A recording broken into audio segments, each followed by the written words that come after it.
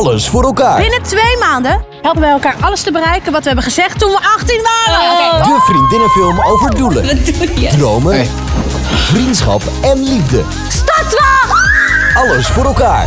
Nu in de bioscoop. Wat voor freaks er allemaal die advertentie van jou kunnen reageren. Dat moet je echt niet willen hoor.